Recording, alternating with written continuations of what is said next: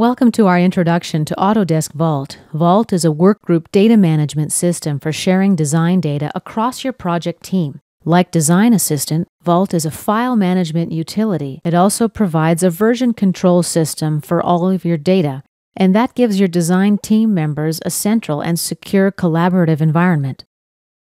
Essentially, Vault prevents your engineers from working on the original copy of the file. That's locked in the Vault.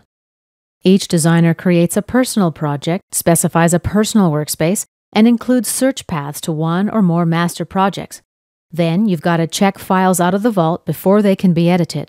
When edits are complete, they're checked back in, and then the edits are available to other designers on the team. You should be using Autodesk Vault if you've got a lot of people working on a single project at the same time. Your company might have some other system in place, but if not, Vault is a good option if you implement it well. You need a local or standalone server configured with the Vault server side utility. What you see here on my screen is the client side utility, and that comes bundled with Inventor. A great feature of Vault is that when you activate its refresh command, it automatically updates file links if you've renamed or moved files.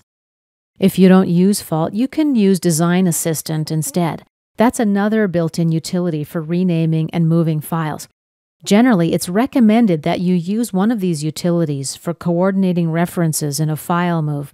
Otherwise, you could end up in quite a bit of trouble resolving your file links.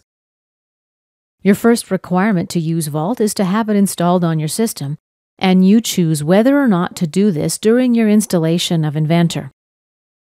Let's open the project editor. Click the New button. We'll choose a new Vault project and click Next. Now we pick a name.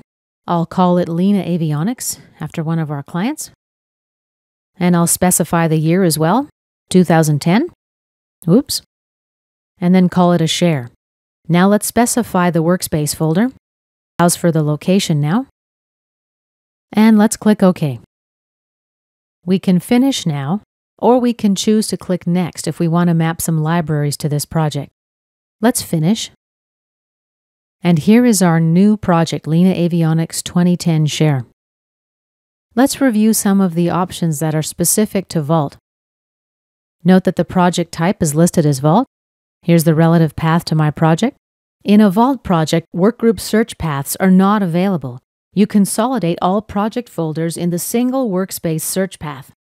The workspace is the local folder mapped to the corresponding folder in the vault. The workspace can be a single folder, or it can include a hierarchy of subfolders to help you organize the project. Let's right click and select Edit. Here we can change the name and browse for a new location.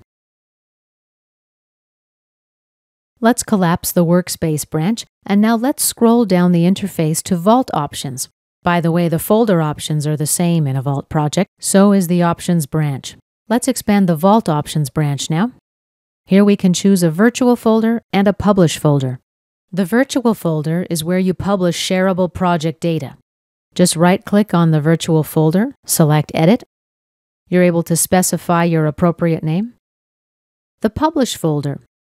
This is where Vault publishes downloadable read only versions of the files and we're also able to edit the name of this folder.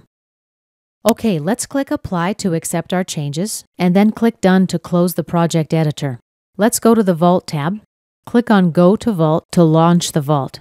Click on Login to enter your user ID and password to enter the Vault. Once you've logged in, you can check out a file that's not currently in use by another user. And when you're done, you check the file back in by clicking Check In. You can also click Refresh to update all references in the project. The browser pane will give you a file status view where you can easily see which files are checked in and checked out. This concludes our brief overview of Autodesk Vault.